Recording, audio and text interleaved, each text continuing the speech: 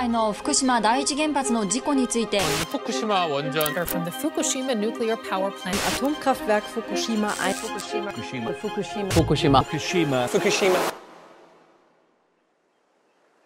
This is a documentary about Fukushima. So here are some lonely looking clips of water over some calm piano music. Maybe there is a shot of me looking out wistfully into the ocean. Oh, there it is. Yeah, we're not doing this. You probably heard of Fukushima before, and you probably had an image in your head when you hear the name. That's also true for almost everyone here in Japan, too. And honestly, industries such as agriculture and fishing have never really recovered from the stigma of having a Fukushima name. There are people who won't buy produce from the area, even if it has been rigorously tested to be safe. And the number of people willing to continue in such professions is dwindling year by year. Now, this isn't the video that's meant to change your mind about anything, or be political, or tug on your heartstrings in any way. Instead, I just wanted to share with you the real experiences and stories of the people in these industries, and what it's like living with Fukushima. えー説明を普通にはもうお任せしますので、はいはいやってはい僕に向かって話す感じでああわかりましたここがうちの加工場です 今ですね夏の間に凍らせておいたあの桃をですね商品にするために一つ一つのチェックしながらカットして袋に詰めて真空をかけて凍結するっていう作業をしてるんですね。これちょっと細かいんですけどもう最後の最後のチェックでこうちょっとこう傷んでるとことかも逃さずカットしてあるのであの口に入るのは本当に美味しいところだけが入るようになってます。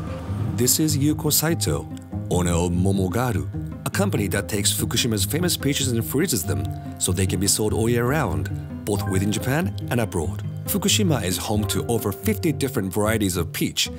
each with their own unique taste and texture. 初モモフですか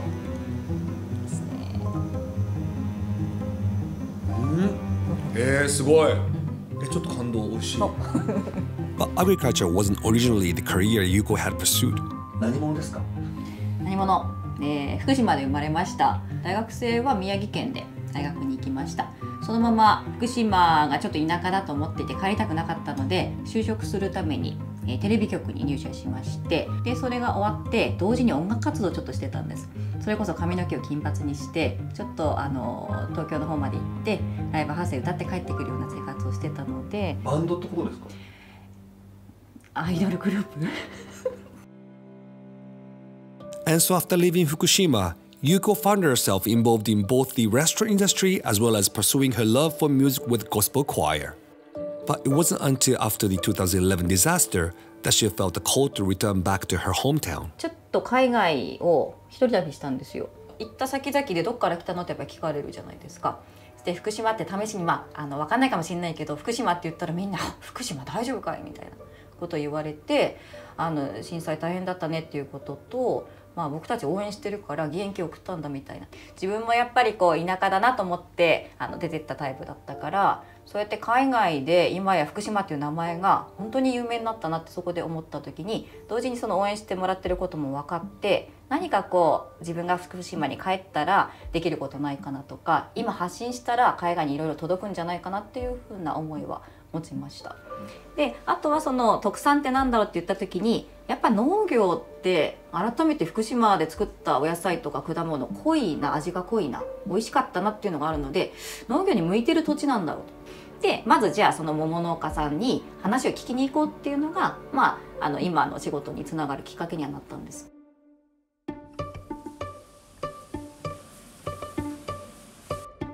But it's not only Yuko who is putting effort into utilizing Fukushima's produce. Her husband Masaomi owns a restaurant where almost all the dishes are created using local ingredients, including Momogaru's peaches. ちょっと根本的なお話になってしまうんですけど、なぜそのこの全て福島でみたいなところに、そういうその熱い思いみたいなところっていうのは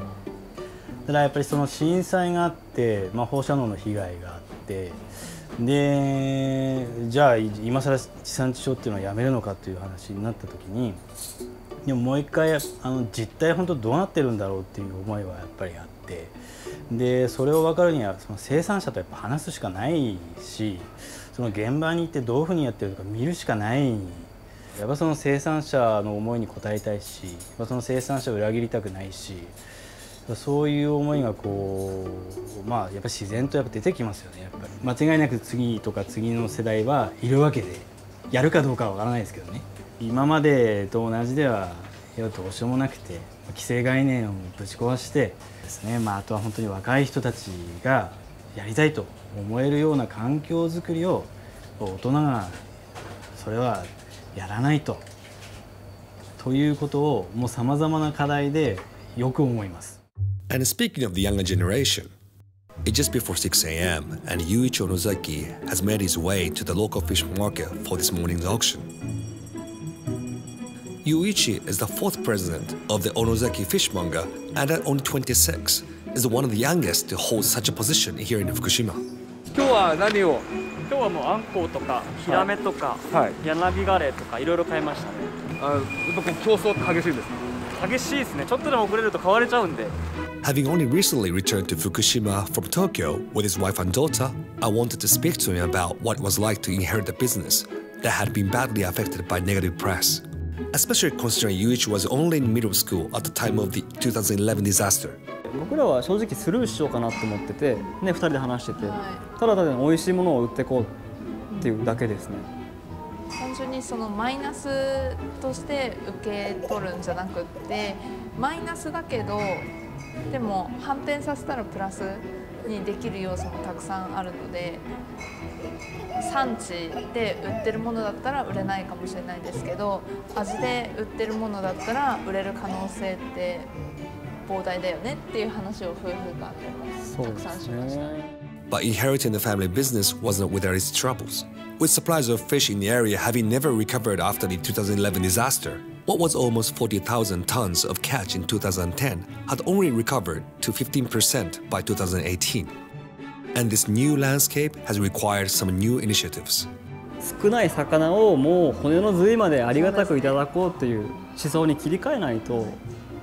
成り立たないですよね実際に魚から出るアラを使った商品作りとかやってますし無駄なく無駄なく本当にやってます今本当福島の中で水産業で若い子たちっていないんですよあんまり。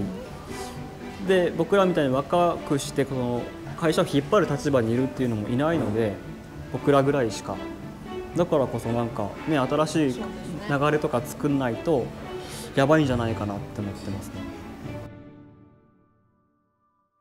At the end of the day, I decided to visit Emi-san, who you may remember from my TKG video about Fukushima's rice. It just so happened that Yuko-san and Emi-san were good friends. We stopped by to talk about something that had happened recently. この前あのインターネットのね「あっていうあの番組の中で生中継でねまあ日本のまあ多分日本で一番影響力があると言われているまあコメンテーターであるあのがあのまあ福島のねものは世界で売れないと、うん、もう誰も買わない、うんうん、まあ理由としては福島という名前が付いてる限りは誰も買わないからその名前変えちゃえばいいんだっていうそのまあある意味極論のような発言があったんですけれどもまあその時のね実はそのコメンテーターと対談をしてたのがねそうなんです。えみちゃん。私なんです。見てたのかな？見ました。どどうでした？いやなんか最初はちょっとイライラっていうかなんでそんなこと言うの？って。でなんか絶対その耐えてるのも分かってるから私だったら反論しちゃうなと思いながらもまあでも頑張ってって見守ってたんだけど途中から悲しくなってきてなんか 泣きそうになったんですよね。だからすごいあの今自分は福島の代表として多分コメントしてるっていうとこも踏まえて多分耐えてたんだろうなと思うとなんかすごく頑張ってたなって思うしでも正直腹の中ではやっぱりいろいろ思うことはもうあったよねっては思ってたんです、なんかやっぱその福島の名前を変えるみたいなことがすごくこう、うん、彼が一番言わんとしてることあったと思うんですけど、うん、それについてなんかどうどう思いました？正直。そうだな、まあ、分からなくはないなと思ったけどその海外に向けて売っていくっていうところでは。ただ今までのそのどう何のためにこう頑張ってきたかっていう自分たちの感情としてはそんなに割り切れるものじゃなくてやっぱりここの福島っていう土地で種をまいていろんなものを収穫してみんなに届けてっていう作業をひたすらにやってきたわけですよ。なのでこの土地の名前を伏せてまで外に出したいとは決して思わない、うん、そうだよね、なんかそれって嘘ついてるよね。そうですねだしアイデンティティだからね福島っていう名前名前って固有名詞でそれを表すものだからそのアイデンティティごと変えるとか消すっていうことってなんかすごくなんだろうショッキングな話っていうか、違うんねって思っちゃった。